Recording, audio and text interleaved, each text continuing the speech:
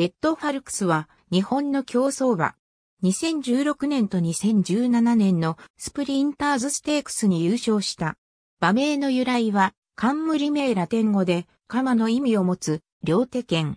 デビュー戦には11月23日の東京 6R 芝線400メートルの新馬戦を選択。3番人気に押される。最後の直線では、メンバー最速となる上がり3ハロン33.7秒の末足で追いつくも逃げるアスコルティには届かず2着に赤敗。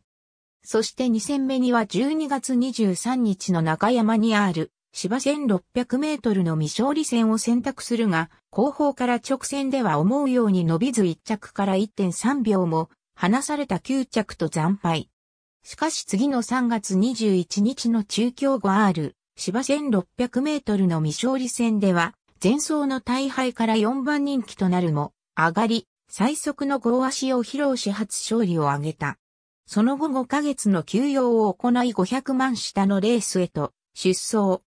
最初の2戦では8着10着と惨敗するも、10着に敗れてから連投で出走した10月18日のレースでは、行為から直線では抜け出して勝利した。その後、聖子特別に出走し一番人気に押されるがここでは3着に赤敗。ちなみにこのレースで勝ったのは、前走で人気を分け合った当選米ティであった。しかし、自走の鳴海特別では一番人気こそ、ルミナスウィングに明け渡すも、行為からレースを思い通りに進めて勝利した。1600万下に昇級して迎えた2015年の初戦には、久しぶりの芝レースとなる、ヒバリステークスを選択。プラス 14kg という馬体重の増減や、久しぶりの芝レースということも懸念されたか7番人気と評価を落とした。レースでは4番手という行為で直線に入るが、伸びきれず、結局順位を上げられずに4着に敗れた。自走はトリトンステークス。騎手が思ったよりも後ろの位置で競馬を進めるも、最後の直線での末足が豪快に炸裂し、オープン入りを果たしたが、この後、半年以上の休養を入れたために降格となった。復帰戦は10月1日のテレビ、静岡賞。久しぶりのダートということもあり4番人気となったが、レースでは行為で進めうまく、折り合いをつけて、優勝、再びオープンへと昇格。年内最終戦として、オールカップにも出走したがここでは、後方から直線で伸びをかき発着に終わる。2016年の初戦として、初めての重賞挑戦となる、ダート重賞のネギシステークスに参戦。行為に位置取りして、順調にレースを進めるが、直線で交代し、最後は後にフェブラリーステークス覇者となるモーニンの10着に大敗した。しかし、オープン特別に戻った自走中京ダート1400メートルの夢水木ステークスでは集団から位置をおもむろに伸ばしていき、2着に構想した。続くコーラルステークスでは右回り適性が嫌われたか6番人気と評価を落とした。レースでは直線で伸びきれず4着に敗北したが、久しぶりの右回りに対し安城の川田は問題ないと発言。自走は東京の欅ステークスに出走。5番人気と人気はやや軽薄だったが、行為から直線では早々と先頭に立つと、1番人気栄新抜剣の猛追を首差しの儀勝利。自走はサマースプリントシリーズの CBC 賞を選択。このレースから鞍上がミルコデムーロに定着するようになる。エイシンブルズアイ、ベルカントに次ぐ3番人気に支持された。レースでは後方で折り合いをつけ、3.4コーナーでうまく外へと持ち出し、絶好の手応えで迎えた直線で溜めていた末脚を炸裂させ、徐々に順位を上げ、逃げ粘るラヴァーズポイントやベルカントをゴール直前で豪快に差し切り、重賞初勝利を挙げた。その後、陣営がサマースプリントシリーズ制覇か、スプリンターズステークスで GI 狙いかが問われたが、迷わずスプリンターズステークスを選択する。迎えたスプリンターズ S 本番では、休み明けや苦手と治療された右回りという影響もあったが、それでも、高松宮記念の覇者ビッグアーサーや、スプリントのレースで善戦を続けてきたミッキーアイルに、次ぐ3番人気となる。レースでは、コースタートから中段へとつけ、いい手応えで迎えた直線では自慢の末足を遺憾なく発揮し、ゴール前で粘る先段を芝叩く間に抜き去り、最後は逃げるミッキーアイルをわずかに、頭さ抜かして、GI 初挑戦初優勝を果たした。ちなみにこのレースは、ゴール時、0.5秒の間に15頭がひしめいて、ゴールするという接戦の様相であった。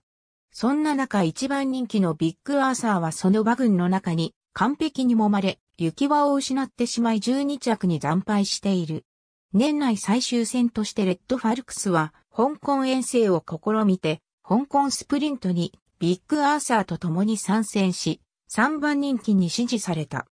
いつも通り直線では、中段の外目につけて、折り合いをつけて直線に向かうが、今度は、レッドファルクスが馬群に揉まれてしまい、抜け道を伺う際に余計なスタミナを消費したのか、直線では自慢の末、足を生かすことができずに12着に沈んだ。ちなみに、ビッグアーサーも同じような形で10着に終わっている。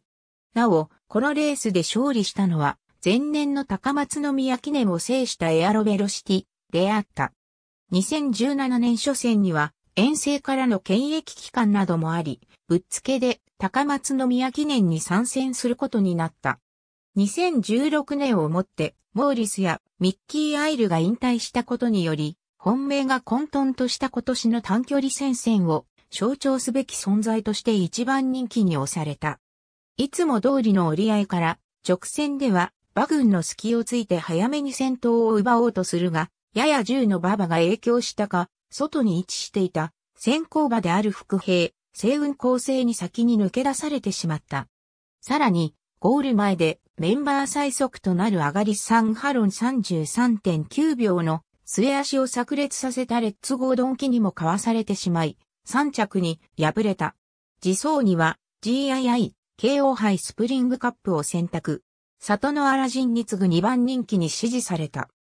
向こう正面では中段に位置し、最後の直線では前があまり開かずなかなか前へ進出することができなかったが、残り250メートル付近になって、前が開くとその隙を狙って前へと進出し、最後はメンバー最速の末足を披露し前で逃げ粘る、クラレントを差し切って優勝、重賞3勝目を挙げた。KO 杯 SC の優勝により安田記念への優先出走権を得て参戦することになった。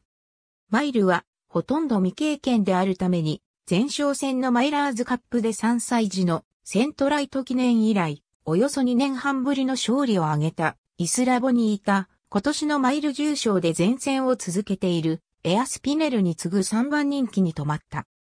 迎えたレースでは後方4番手へと位置し、直線半ばではなかなか前が開かなかったが、自ら外へと進出しなんとか進路を確保し、前へと進出したが、先に逃げ粘るロゴタイプやロゴタイプを捉えた、里のアラジンに追いつくことができずに3着に敗れた。安田記念から4ヶ月の休養を経て参戦することになったスプリンターズステークスでは、連覇への期待から春のスプリントを星雲構成を抑えて一番人気に押された。レースでは良いスタートから前年と同じような位置につけると、いい手応えで迎えた直線では残り150メートルから合足を遺憾なく炸裂させ、最内から抜け出して、先に先頭に踊り出たレッツゴードンキをゴール前で首逆して優勝し、史上3頭目となるスプリンターズエース連覇を達成した。